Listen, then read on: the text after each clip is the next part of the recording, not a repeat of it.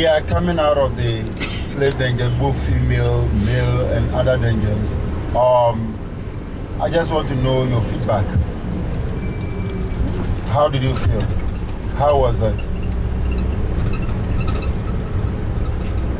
Okay. It was exhausting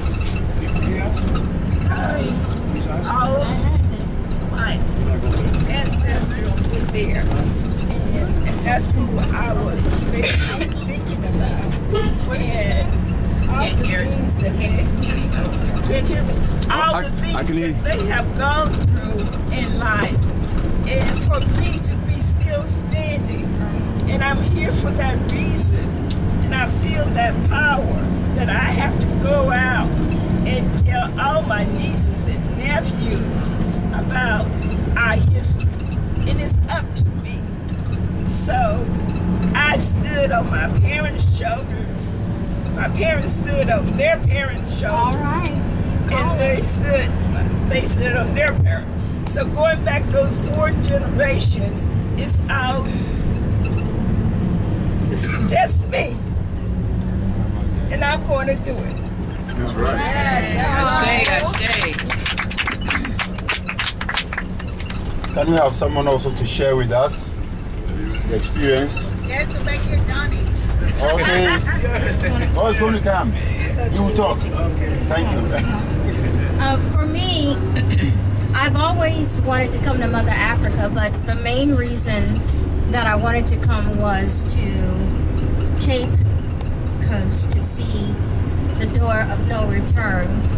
I knew that that was going to spiritually satisfy and fulfill that connection that I've wanted with my ancestors forever.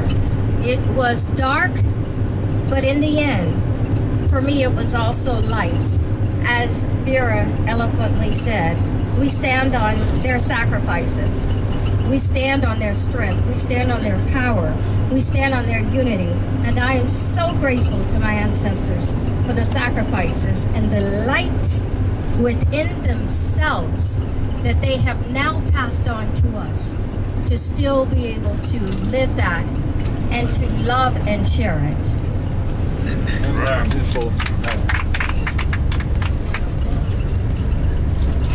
So for me, even though I was born and raised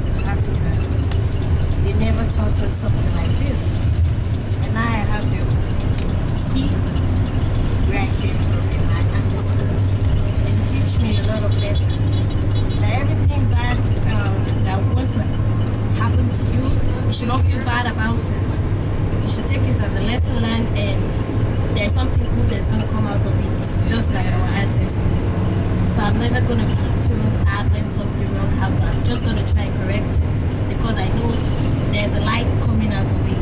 So that's what I learned. Thank you. Excellent. Let's go back there.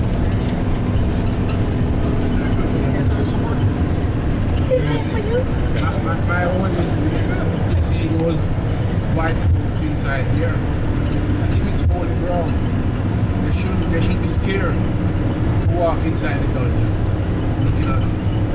I I I and then I was tearing up. That's how emotional I was. A strong lady gave me tissue to wipe my eyes. So you realize how women are in this strong. So sometimes when we are being raped, not like we were raped was at. Always need or why stand by us. That's where you strength is. It's not the competition type of struggles.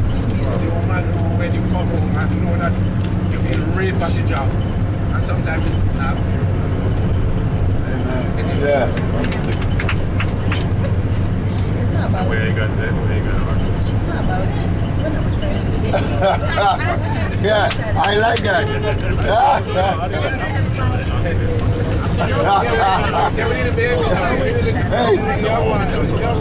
hey, something is going on at the back and very well, great. Here, we'll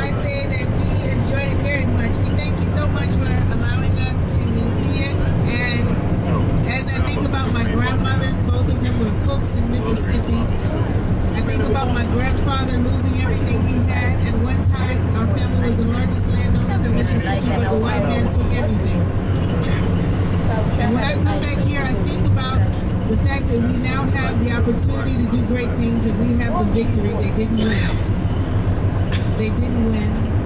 And so we fight on.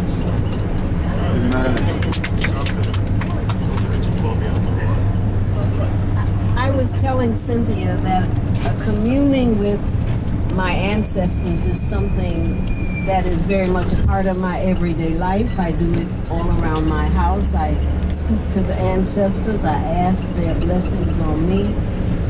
But this was a time where I felt them stronger than ever when I was in there. And I pray that I live a life that honors them. And so I thought of two things. I thought of a, of, of a scripture, a Christian scripture actually, but it's it's interpreted as a Christian scripture, but it's actually very much African, and that is honor thy father and thy mother, that thy days may be long upon the earth. I, I thought about that, and my prayer was just not to look back, because we can look back and we can learn history, but we have to take that into our spirit and go forward. What does it mean going forward? And my prayer is always that I live a life that honors the ancestors, because much has been done. Thank you. Thank you. One more person. One more person. One more person. One more person.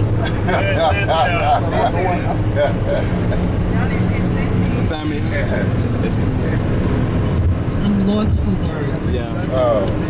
oh. I am lost for words. Took me a long time to get here, but I'm here. All right. And I actually felt the, s- the spirit in the Mel dungeon. I felt their spirit. I felt the, I felt the spirits within that whole building. But you know, how can I take what I felt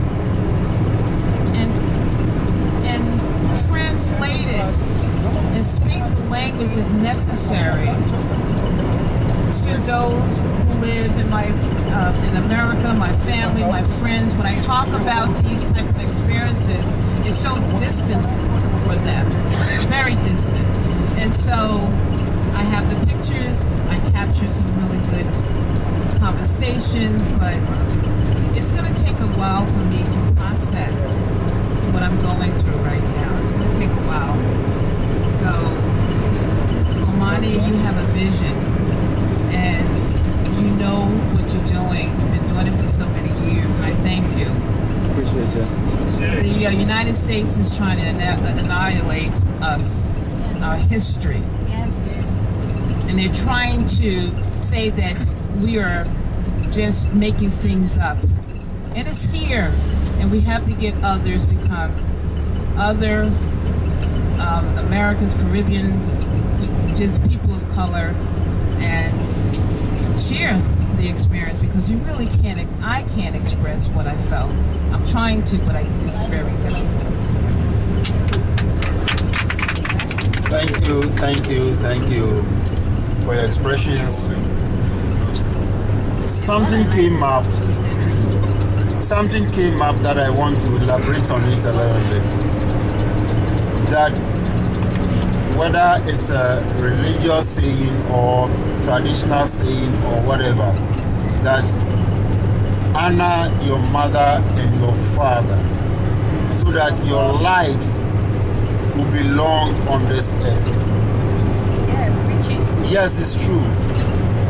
It's in uh, uh, the Bible. When you go to the Quran, it's also saying the same thing. Yes. And naturally, if your mother, your father, you don't honor them, whom are you going to honor? Nobody.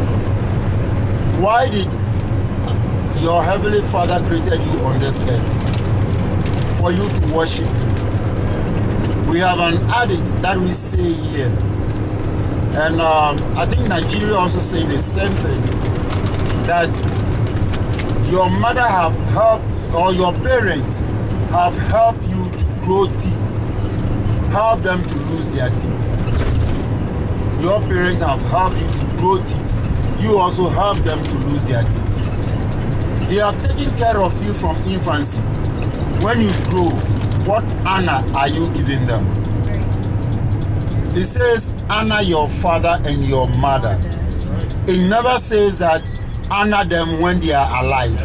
It never says honor them when they are dead. Never says whatsoever. It says honor them. Meaning that wherever you find yourself, you have to honor them. Whether they are alive, you have to honor them. Honoring them pave a way for you. Now, when you honor, let's let's let's do this simple calculation. If your child, you buy something for your child, and the child comes and say, "Thank you, mom. Thank you, dad." Just some few hours or minutes later, he said, "I need this." What will you do? You definitely go and buy that thing too for that child. So, because the person was so thankful to you for the little thing that you did, the person will receive a bigger thing. And when you the person receives, say, my mom is very special, my dad is very special. It's the same way that we need to honor our parents. Sometimes it might not take much of you, something little. I know a lot of people believe in flowers, and a lot of people don't believe in flowers. I hope all can hold. Uh, let's try to get a group picture right here, please. Tell us, Uh, slow uh, driver. Masa Mbojo, hold on. Mbojo, can you reverse a little bit? Mr. Wa, Let's uh, wrap it up and then. you, yeah, yeah, just just reverse. So the more you see the affirm, this is connected to the affirmation that we said. The more we have, the more we give it to our African people. The more you give, the more blessings you receive. So as we are here to see what our ancestors went through, the blessings of it will always come.